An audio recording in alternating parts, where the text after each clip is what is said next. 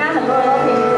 然后那时候想出这首歌，就真的觉得，就哇，这首歌真的好好听哦，就希望就是就是呢，也就是做出不一样，就是跟原曲一样好听，然后带给大家很感动的歌这样对。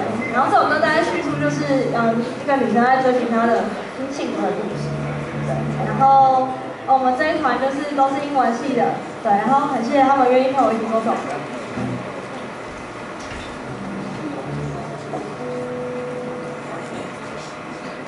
那我们要开始喽。